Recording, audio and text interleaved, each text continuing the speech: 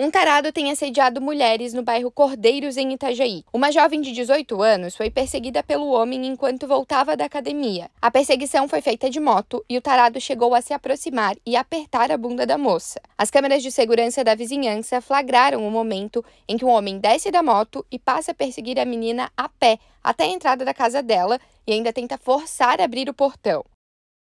Ela sai de casa para pedir ajuda ao tio que mora por perto mas o tarado conseguiu fugir de moto.